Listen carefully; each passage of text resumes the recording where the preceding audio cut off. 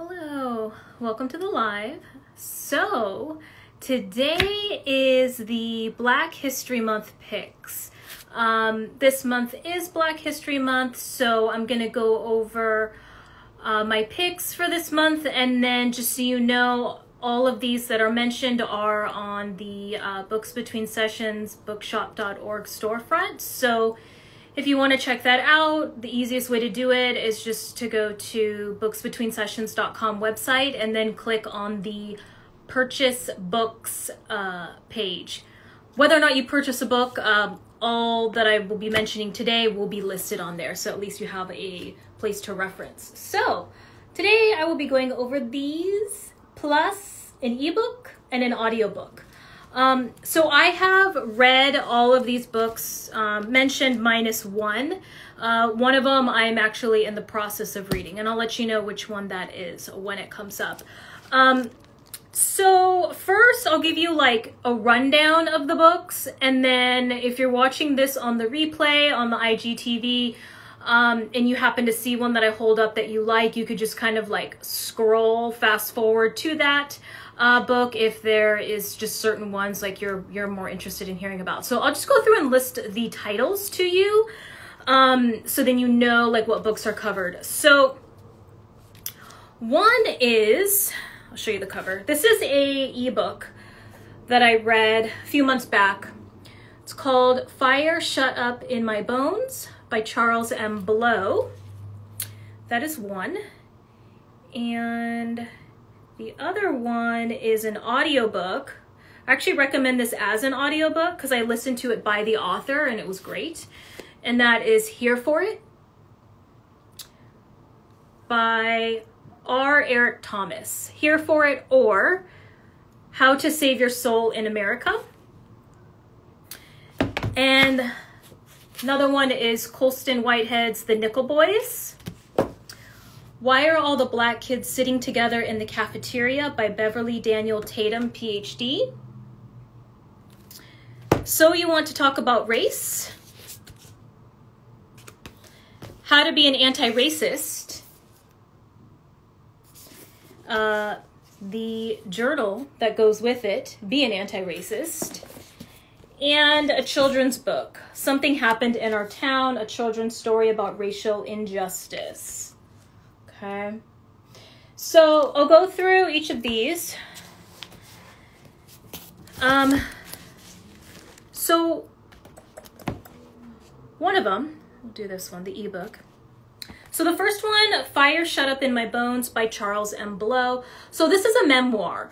Um, Charles M. Blow is a black author, is also, I believe he identifies as bisexual. And so this is his story of growing up in the South, uh, what he experienced uh, there within his family, in the community. It also, he also talks about his experience um, going to college and what it was like joining the fraternities. Um, the book also touches on his faith. So there is a lot of discussion about his religion and kind of how it intersected with how he felt about himself, specifically his sexuality. So there are points throughout the book where he also talks about that and also masculinity and like what that looks like. This book is really, really good. I highly, highly recommend it. He's an amazing author.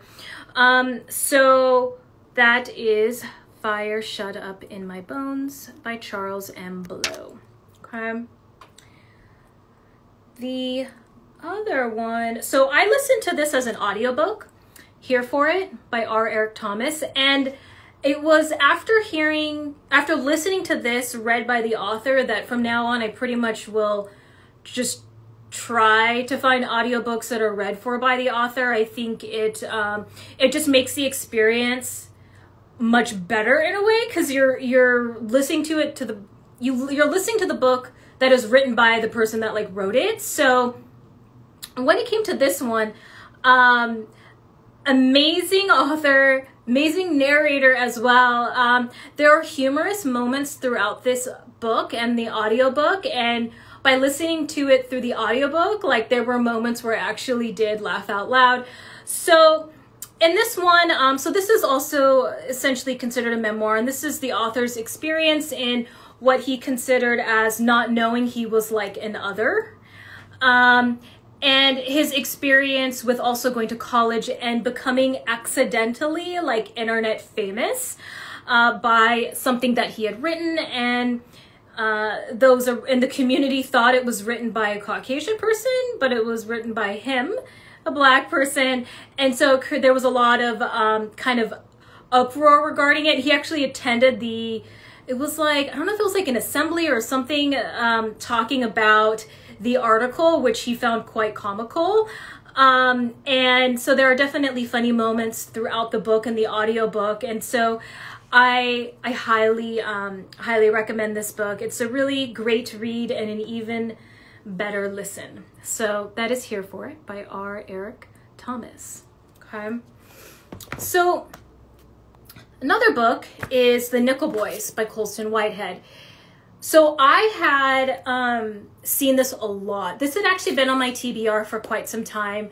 And um, I had been meaning to get it. And so I did get it from a local bookstore here in Orange County called, called Arvida. Um, it's in the city of Tustin. And so when I saw it, I, I immediately picked it up. Um, just because I had seen I had seen it so much, and I didn't so much know what it was about. Um, but essentially, what this is about is it's a fictional story, but it actually is inspired by a, an actual school. And I'll get into that in a minute. So essentially, what it is is it's like a, a reform school that the uh, main character is sent to following a, um, I guess it was like an arrest, like, but it was really like a complete misunderstanding. And so the main character is sent to this like reform school um, with other boys, and there was also segregation within this reform school blacks, whites. Um, there was one Hispanic um, male at the school where they didn't know what to do with him, so he kept kind of going back and forth between the two.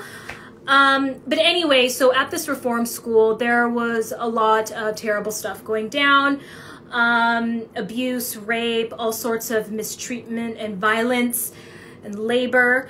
Um, so this is his his story, uh, the the main character's story, and it was in a lot of ways very um, heartbreaking too, because the way it starts out is um, the the main character was actually on his path to having a certain life that he had wanted, which was like going to a particular school academic, highly intelligent person, and just because of like one event, it had gone like terribly wrong, and his path was veered off.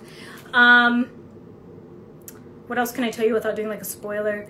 Um, well, anyway, so you have to read it, and so the the author based this story off of a true, like an actual school in Florida called Dozier School for Boys and it was actually operating from 1900 to 2011 um, and the there was a lot of abuse and violence going on at the this particular school in Florida to the point where Florida um, the Florida Department of Law Enforcement had actually confirmed like this was a place where violence and abuse had occurred.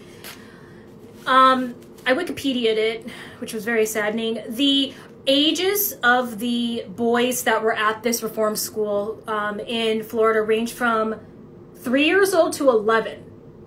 Awful. So, and, and two, and if you think about it, like, it closed in 2011. Like, that was 10 years ago. So, for like over 100 years, you know, this was going that reform school was there, it was going on. I think there was like at one point where it was kind of like a juvenile um, placement place. So, anyway, that is the Nickel Boys. Uh, really, really important read, especially since it's it is more like if in a way like historical fiction, since it was inspired by a true um, a true an actual school.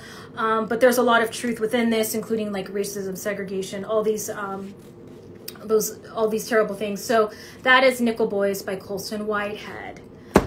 The next one is why are all the black kids sitting together in the cafeteria? And other conversations about race um, by Beverly Daniel Tatum, PhD. So this is a, so I have the old copy. There is like a newer cover. Um, so this book is really good, and it is written by uh, psychologists who had been studying um, racial identity development for like decades. And so this book was really cool in that it's a mix of um, so racial identity development. So it will go through from like, you know, like toddler age up until like adulthood and how racism and racial like development kind of happens. And also um, touches on other ethnic, other, other like POCs, uh, Native American, Hispanic, Asian Pacific Islander. Like it does touch on the others as well, um, more towards the end. But what's interesting is it just it, it this book was essentially um, created following a speaking and like workshop that the author had been doing all over, which was to um, talk about racial identity development to Caucasians and blacks and other POC so that's how this book essentially was born, and it's really, I mean, um, you could tell by the text, like it's it's really good. I feel like it's laid out in a way where like you can follow the timeline of things, and um, it's definitely like.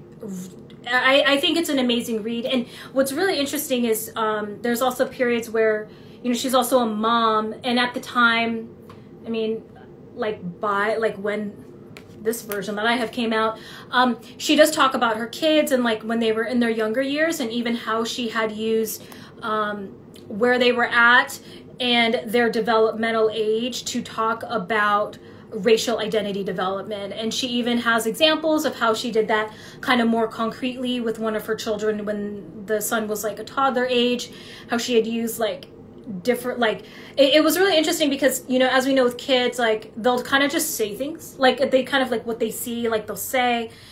And um, one of the questions that her one of her children had said like out loud in the store was like how come that you know that that kid and mom don't match? As in like one was lighter skin you know one was darker skin. So you know she really um, talks about how she how she handled that like in that moment how she talked to her child about that like and took that opportunity to explain um, you know race and development and everything. So so i feel like this book is good in many ways um, and just is uh, super super informative. So that is why are all the black kids sitting together in the cafeteria. Okay the next book um, so this is one of a few that you've probably seen a lot. Um, so you want to talk about race. I read this over the summer, um, and this is really interesting. So essentially, it is what it says, like how to talk about race when it comes to different um, topics and categories. Um, I'll read them to you. What is racism? What if I talk about race wrong?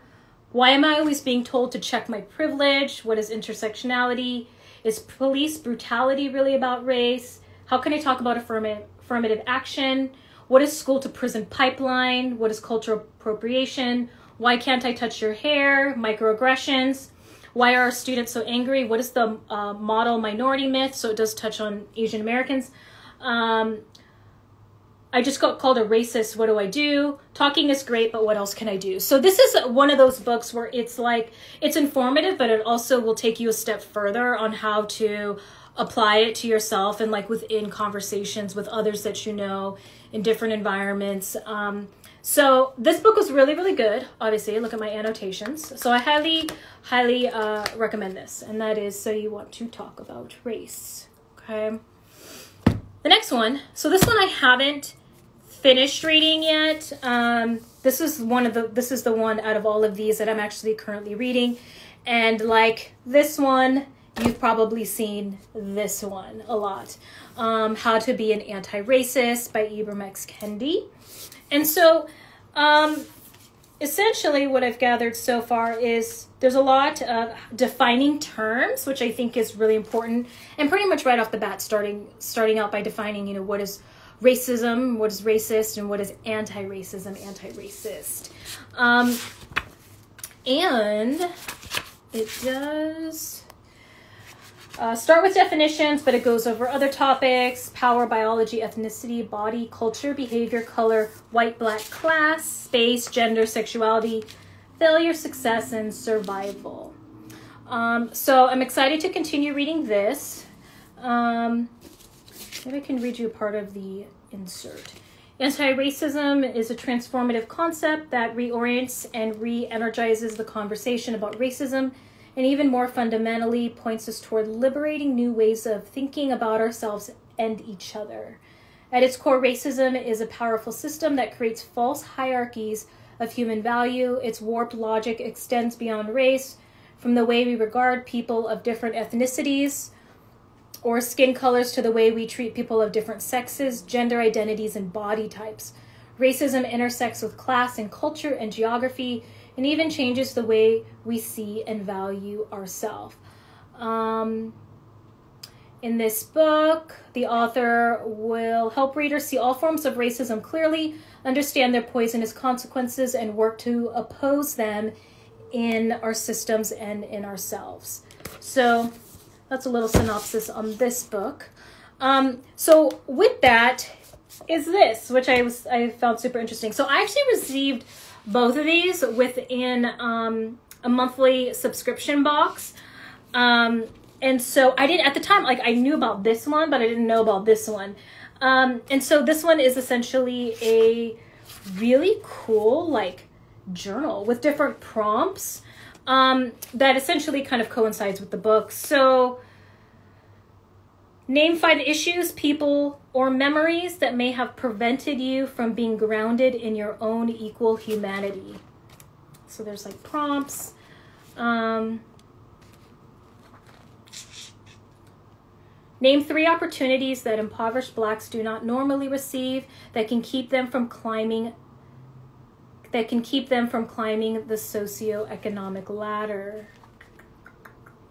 Recall a recent racial injustice in society that affected you, made you sad or angry, or prompted you to take action. Why did this racial injustice affect you so deeply? So this is cool. I mean, this book is um, going to be super informative, I know. Um, and then this is also a way to, which is what I like when it comes to books in general, is like a way to extend the learning further. And within this there's a lot of critical thinking a lot of um, you know thinking about yourself and like your experience. So i think it's great that there's a corresponding little uh, journal workbook okay? So that is being anti-racist okay? The last one um, is a kid's book. And so i originally i read this um, a few months ago as well. And i originally saw this uh, suggested i think it was on apa i think it was apa.org and it was um, there are multiple authors. So Something happened in our town. A child's story about racial injustice. So essentially, what this uh, it's a children's it's a children's book um, that has like really cool pictures. Um, so essentially, what happens in this book is there is a shooting. Um, yeah, Something happened in our town follows a white family and a black family as they discuss a police shooting of a black man. So throughout this story, there you see kind of there's like um, inside the white family, and then after the shooting occurs, and it talks, it looks, it uh, will show like their discussions and how they responded to it. You can also see this uh, my favorite angsty teen sibling here. Um, so after the shooting, it will talk about the reactions from the white family and then um, the reaction of the black family. And so it goes on how goes into how they responded to it. The gold of this book too is in the back, where there are discussion questions right? So we know with kids, um, there's probably going to be a lot of questions. And what's cool is these books can also be a, a really good learning opportunity. So in the back, it talks about like discussion guidelines, how to address racial bias with children, um, issues unique for African American families. So, you know, the kids whether if the child is black or if they are Caucasian, Asian, whichever. There, there's there might be some different questions that are coming to gonna come up. So um, this talks about that vocabulary, um, and there's like some sample discussion questions and answers. So I think this back is um, really really helpful. I'll read you some of the questions so you can kind of see what I'm talking about here.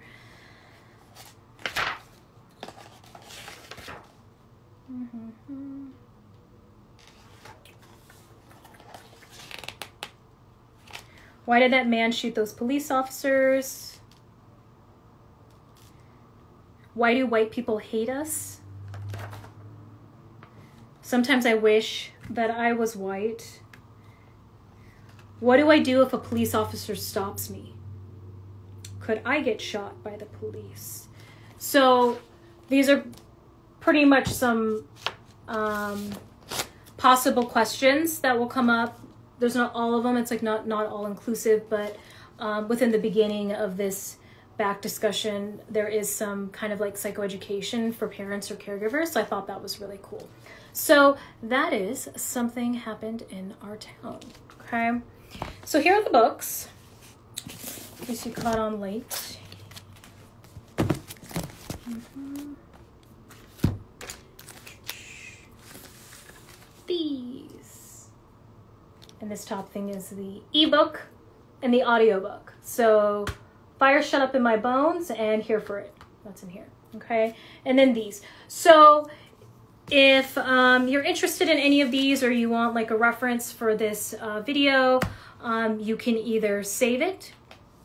You can either click the little dot dot and like save or uh, the bookmarks. You could like reference this or watch it again later um, or you can go to our bookshop.org page, um, which I essentially created as a reference for all the videos and suggestions that I do. Um, and like I said, the easiest way to get to that is just to go to the booksbetweensessions.com website and click on purchase books. Um, and then you'll scroll and you'll be able to see this video. It is up now and that is, is titled, um, the title of this lives, which is Black History Month uh, picks, okay? So hopefully this was informative or helpful. If you have any uh, book suggestions, leave me a comment, send me a message, email, let me know. Um, as I always say, if anything, it'll end up on a monthly reading wrap up. Um, if I haven't read it and I end up reading it, it will end up on the monthly reading wrap up. Um, as well as there's always the potential for it to be on a monthly observance if it happens to fall in that category, as well as the potential to possibly be on an episode of the podcast for 2021. I'm more focusing on having guests on, like the authors of books, so who knows?